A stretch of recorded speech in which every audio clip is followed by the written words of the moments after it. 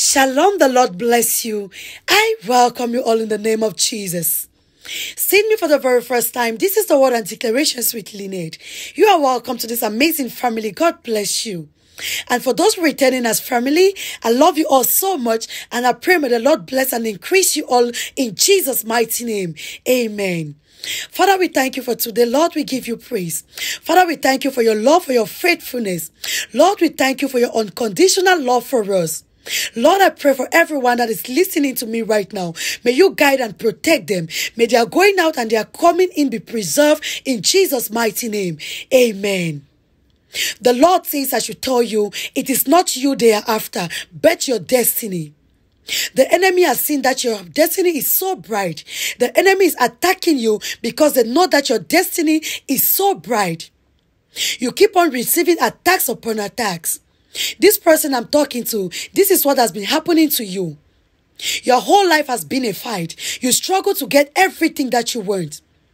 Right now, you're giving up. Right now, you feel like everybody has abandoned you. You feel like nothing is ever going to change in your life.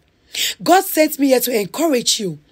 The Lord says, Do not give up. He is about to intervene in your life in the mighty name of Jesus.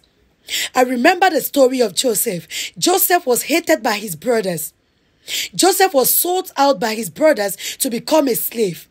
At that point, he felt so discouraged. At that point, he felt like everyone has rejected him. He felt like he was a nobody. He became a slave, and after being a slave, he was put into prison. Joseph felt like everything about his life has come to an end. But from a prison, God made Joseph a prime minister. The Lord says, all these struggles you're going through right now, do not be discouraged. It is a process in your life. It is not about you, but about your destiny. The enemy have seen your destiny and they know that you're going to be a great person. That is the reason why they're attacking you. They know that if they let you go, you're going to become of help to so many people. You're going to help your family and so many people that are in need. That is the reason why they are fighting you.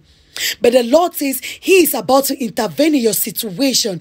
Every plan and purpose over your life, every plan over your destiny is going to manifest in the name of Jesus. They have fought you for so long. Now they are letting you go. And the plans that God has for you is manifesting speedily in Jesus' mighty name. Amen. Father, we thank you. Lord, we give you praise. In Jesus' name, amen. Thank you all so much for being a part of this session. I hope you receive this word with gladness. Please do not forget to subscribe and turn on your notification bell so whenever I upload new content, you will be the first to know. I love you all so much, family, and see you in our next session. God bless you. Shalom.